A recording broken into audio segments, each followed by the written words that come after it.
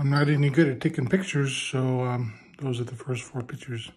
I actually started two days ago trying to lose some weight because uh, I'm tired of being a fat ass. I uh, got mad at my wife and at work because nothing seems to be going my way. So I'm going to make things go my way and lose weight on my own. I can't do it for, because of the stress of work. I uh, eat too much. So I uh, have a plan. I'll reveal that plan in due time. Um, but for now, I just wanted y'all to know that this journey has started.